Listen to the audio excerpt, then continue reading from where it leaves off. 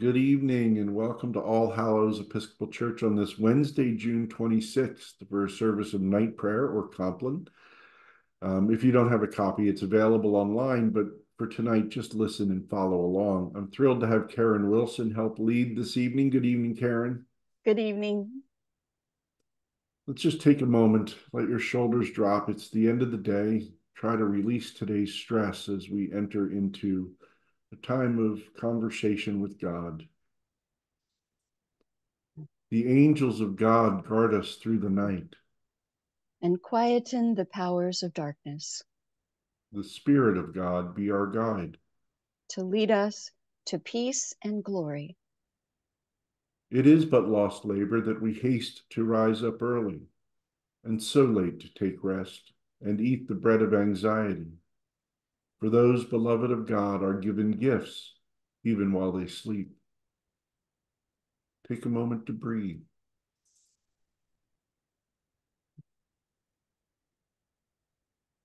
My siblings, our help is in the name of the eternal God, who is making the heavens and the earth.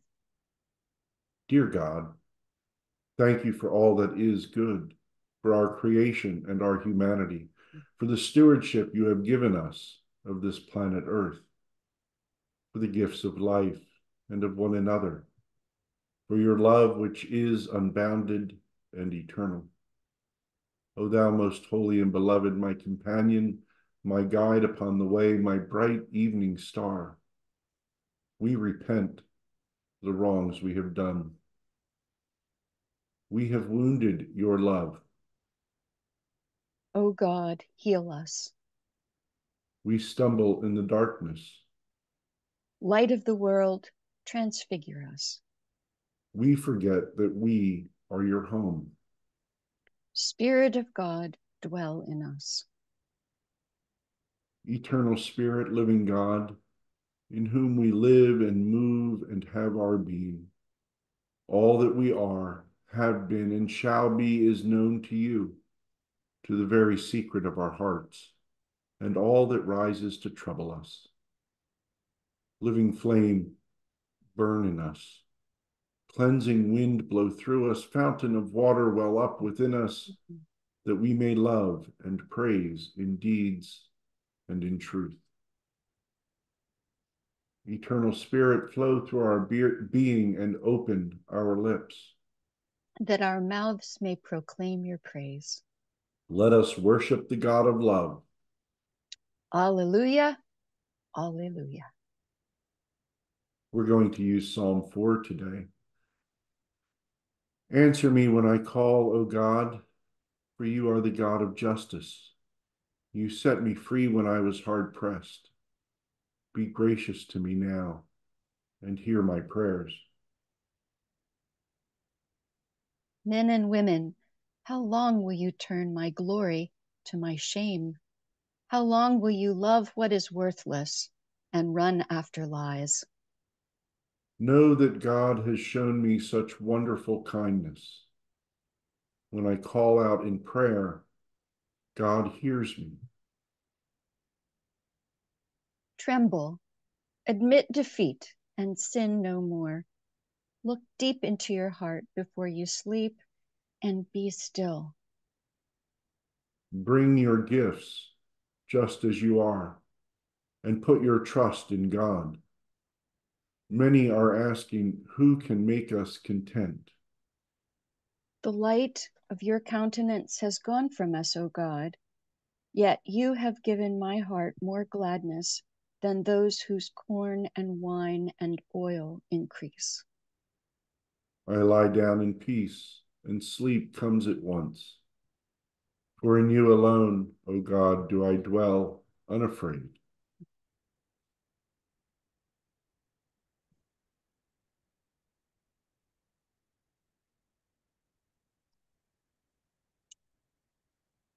Do not ask anxiously, What are we to eat? What are we to drink? What shall we wear? The whole world runs after such things. Set your heart and mind on God's commonwealth and justice first, and all the rest will come to you as well. So do not be anxious about tomorrow.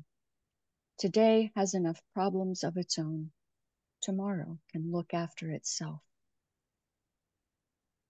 Just take a moment to contemplate those words from Matthew's Gospel. And what I'm struck by today, again, as happens often, is that word anxiously. And as I heard it, I realized that there are times when we make decisions that are wrong because we are anxious. We, we grab at things because we are anxious that the next thing won't be there. And we forget to trust in our anxiousness. So I invite you to contemplate how being anxious affects our decision making capability and whether we trust and how we can better trust God. Just take a moment.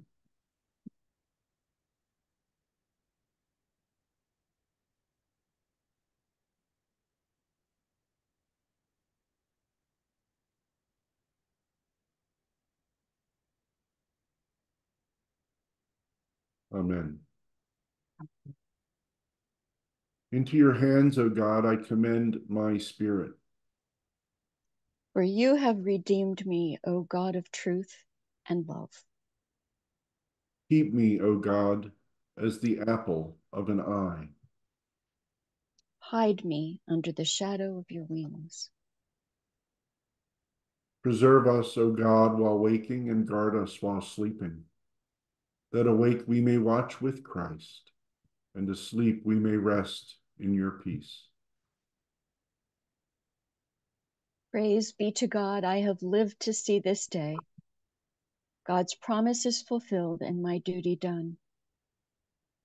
At last you have given me peace, for I have seen with my own eyes the salvation you have prepared for all nations, a light to the world in its darkness and the glory of your people, Israel. Glory be to God, sustaining, redeeming, sanctifying, as in the beginning, so now and forever. Amen. Amen. Preserve us, O God, while waking, and guard us while sleeping, that awake we may watch with Christ, and asleep we may rest in your peace. Lord, have mercy. Christ, have mercy. Lord, have mercy. Eternal Spirit, earth maker, pain bearer, life giver, source of all that is and that shall be, Father and Mother of us all, loving God, in whom is heaven. The hallowing of your name echo through the universe the way of your justice be followed by all the peoples of the world. Your heavenly will be done by all created beings. Your commonwealth of peace and freedom sustain our hope and come on earth. With the bread we need for today, feed us. In the hurts we absorb from one another, forgive us. In times of temptation and test, strengthen us. From trials too great to endure, spare us. From the grip of all that is evil, free us. For you reign in the glory of the power that is love, now and forever. Amen. This moment of intercession, we invite yours, either aloud or in the silence of your hearts. And if it's just a jumble of thoughts that you can't put together, just lift the jumble up to God who will make sense of what you are praying for. We pray for those on our parish prayer list for Debbie, Annie, Cannon, Larry, Amaya, Mike, Bill, for Linda, Judy, and Jack, Charlotte, Bill, Donald, Karen, Bob, and June, Ben, Phyllis, Bob, Robin, William, Alexandra, Frank, Mackenzie, John, Anne, Sean and Anne, Patricia, Donna, Tom and family, Bob and family, the Greenberg, Gelrod, and Nolan families, the Hayduk, Mebus, and Tochek families. We pray for those who are in trouble, sorrow, need, sickness, and any other adversity. For the hungry, for the unhoused, those who are living in precarious situations, either physically, financially, or spiritually, for the unemployed and the underemployed, for those who are not finding or have no clarity of purpose, for those who are living with addiction, those who suffer with their mental health, for the angry and the anxious, and the crowded and the isolated. We pray for our world, for an ending of violence everywhere especially in Ukraine, Sudan, and the Middle East and Gaza. We pray that peace will be sought. We pray for those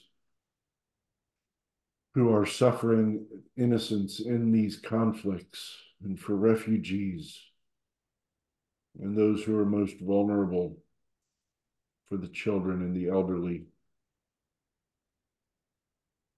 and the disabled. Pray for aid agencies trying to bring food, shelter, water,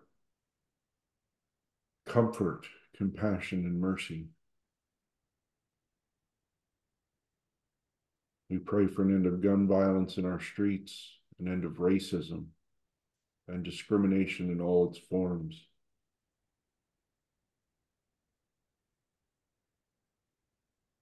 We pray for our church.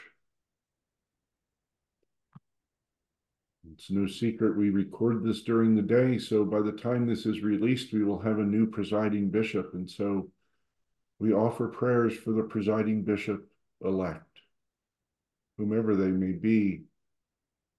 And we give thanks for the Holy Spirit to lead to a new shepherd for the Episcopal Church in the United States.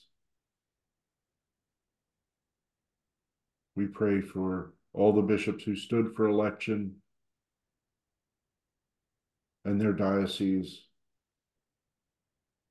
We pray for our church, All Hallows, for our ministries, that we may bring light and love into the world. We give thanks for our vestry who met last night.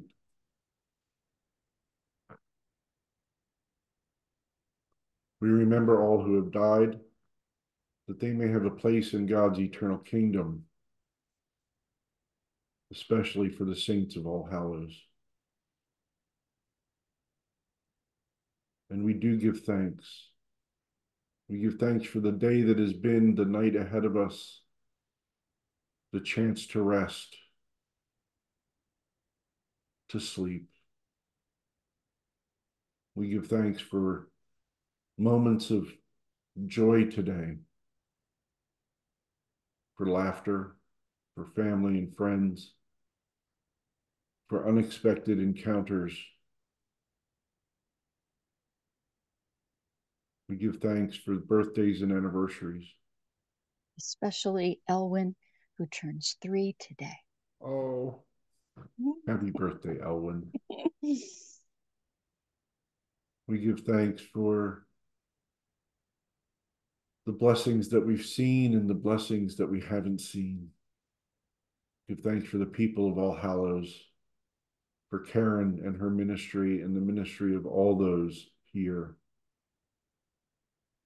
Give thanks for the vestry.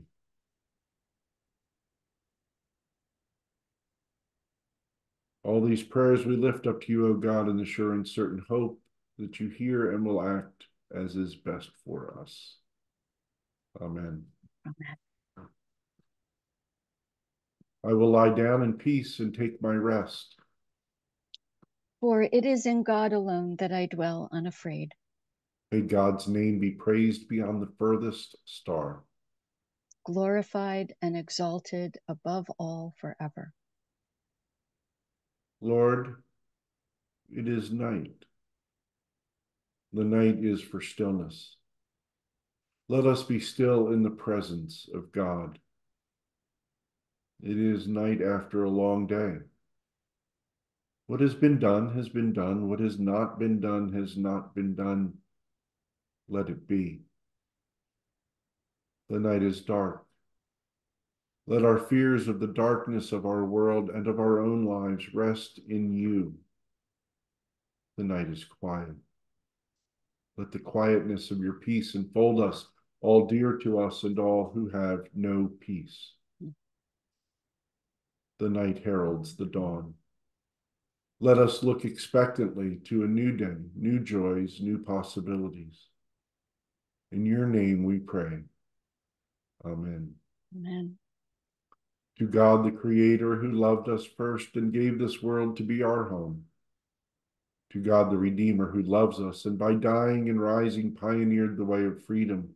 To God, the Sanctifier, who spreads the divine love in our hearts. Be praise and glory for time and for eternity. The blessing of God, the eternal goodwill of God, the shalom of God, the wildness and warmth of God be among us and between us now and always.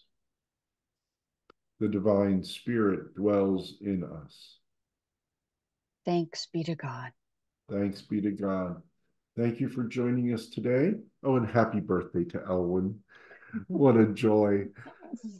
Um, we will be back again tomorrow for uh, evening prayer, or I'm sorry, for Compline night prayer at eight o'clock, and Thursday and Sunday our service is at ten o'clock. We will be celebrating July birthdays and anniversaries um, on Sunday. So I know it's still June, but it's June thirtieth. So we're going to do it so that everybody gets their chance. Um, please know that all are welcome here always. Thank you, Karen. You're welcome. Thank you, Chris. Be at peace and pray for peace.